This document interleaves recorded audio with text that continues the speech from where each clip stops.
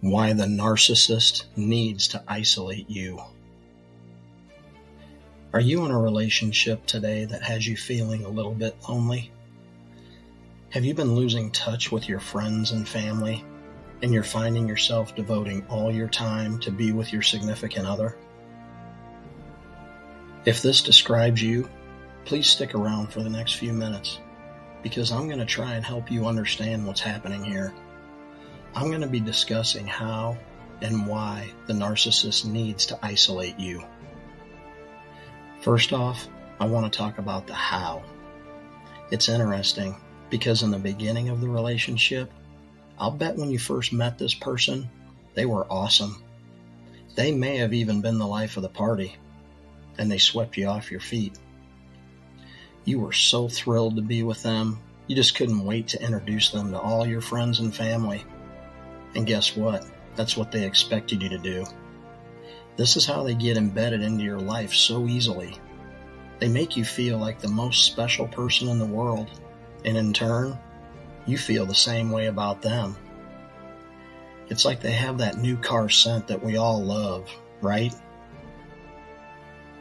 Narcissists are unstoppable when they have that mask on because as long as they can keep that shield up, they appear to be a totally normal person. They're actually really cool at that point, right? I mean, seriously, if they weren't, you wouldn't have been attracted to them in the first place. And once they hook you in, then it's time for them to engage with everyone around you so they can determine what steps they need to take to remove those people from your life.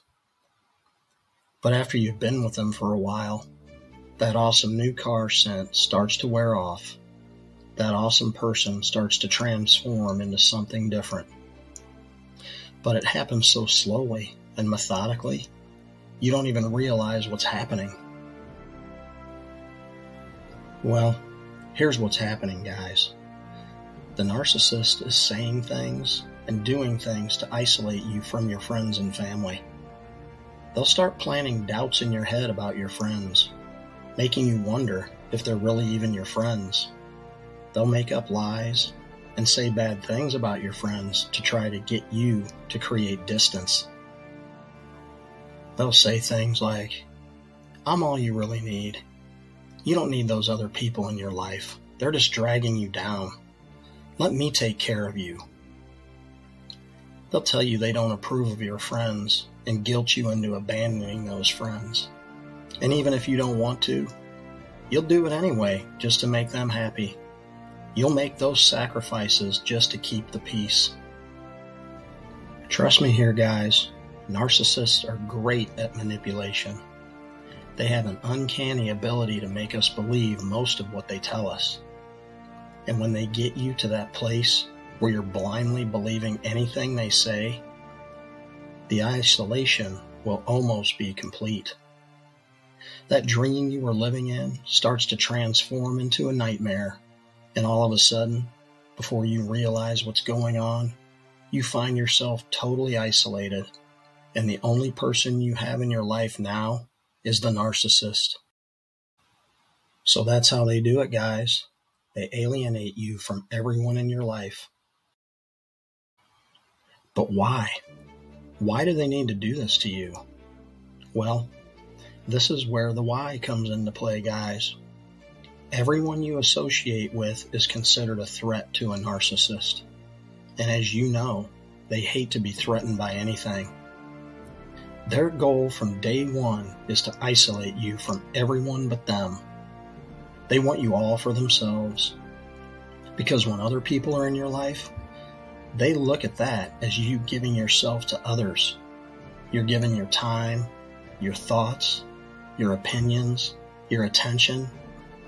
Anything you might be giving to others, you're taking away from what you're giving the narcissist. And trust me, that annoys the shit out of them.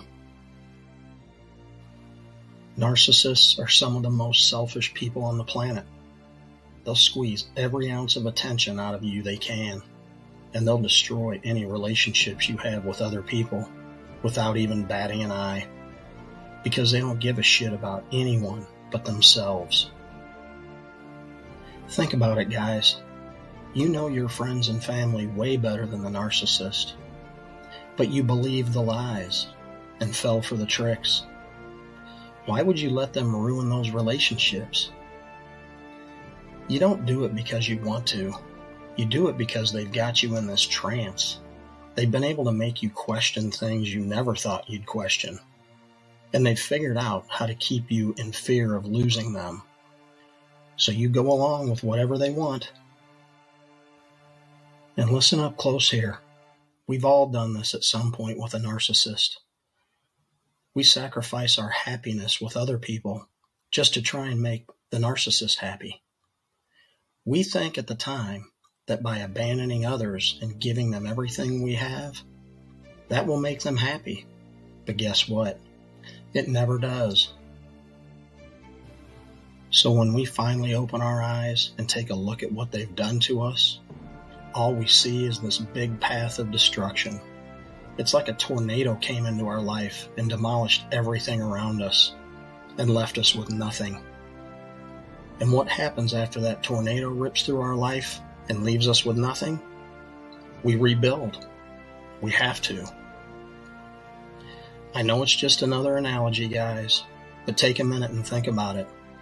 If your house was destroyed by a tornado, you'd have to do something about it.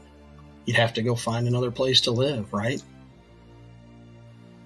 But instead of a house being destroyed, it's your emotional foundation that's been destroyed.